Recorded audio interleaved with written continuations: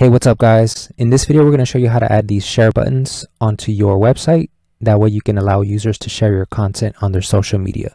So for instance, if I was on this website and I wanted to share this content on my social media, all I would have to do is click on the button and that would open up a new window, which would allow me to share this particular content. All right. And we're also going to show you how to create this style of buttons just in case you don't want to use the horizontal option you can use this option as well all right, let's get right into this tutorial.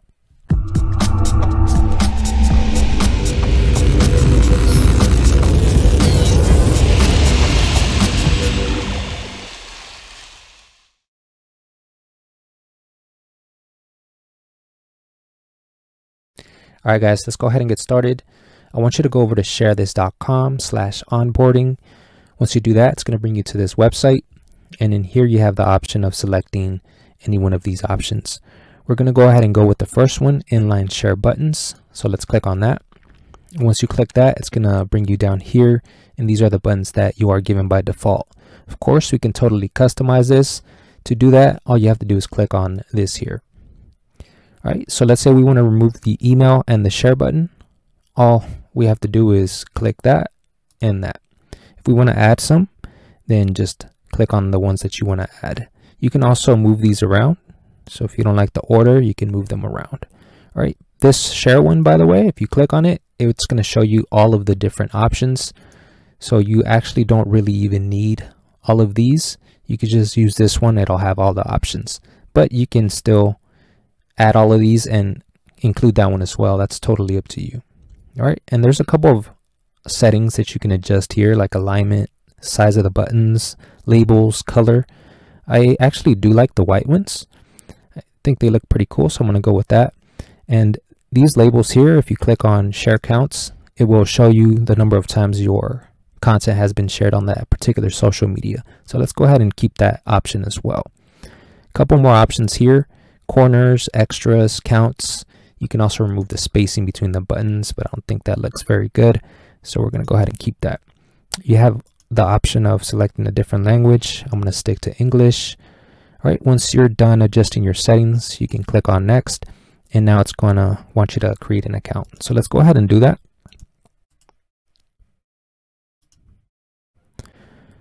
And this here is just asking you how many page views you get in your website a month. I'm going to go ahead and go with that one. I'm going to click, I've read the terms and conditions, and I'm going to click sign up. Right, once you click on that, you're going to have three steps here. Let's start with the first one. So we're going to copy this just by clicking on this.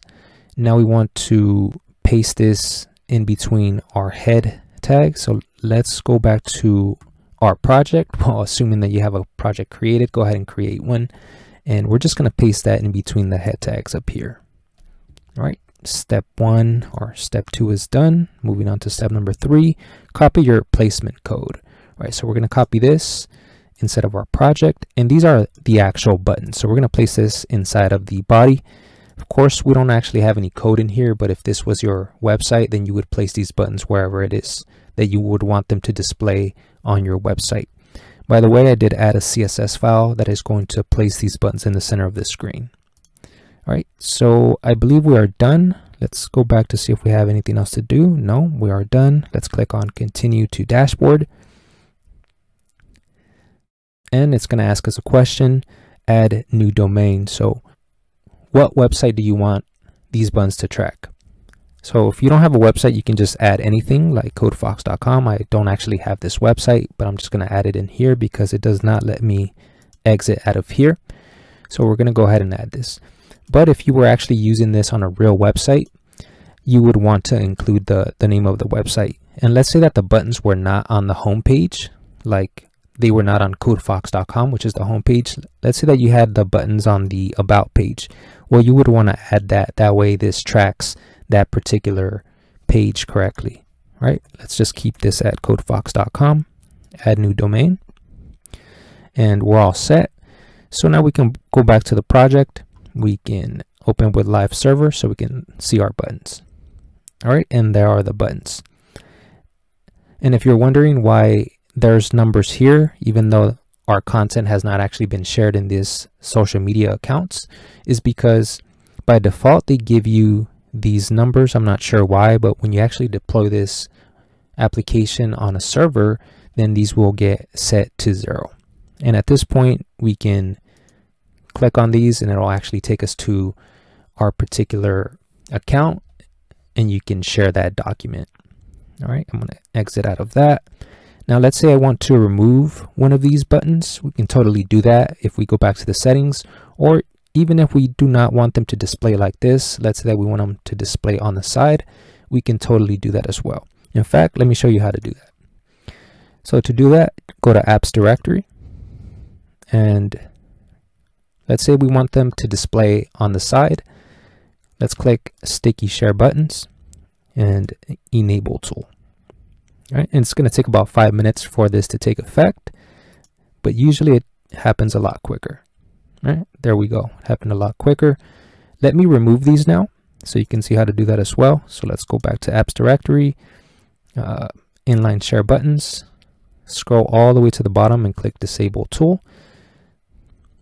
So once again, it's going to take about five minutes. Usually it takes a, a lot less for it to take effect, but this time it is taking a little bit longer. That's totally fine.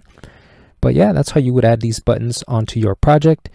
Now, some of you might be wondering, why didn't we create these with actual code? Well, that's because that's actually a little bit more advanced to do. You would not be able to do something like this with just HTML, CSS, and JavaScript. You would actually need the backend to be able to track the number of times somebody has actually shared your content on their social media. It would it could actually get quite complicated.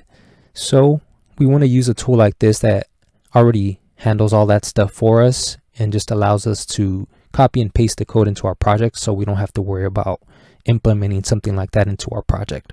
All right, that's going to be it for this video. Please make sure to hit the like button if you found this useful, and I'll see you guys in the next video. Thanks for watching.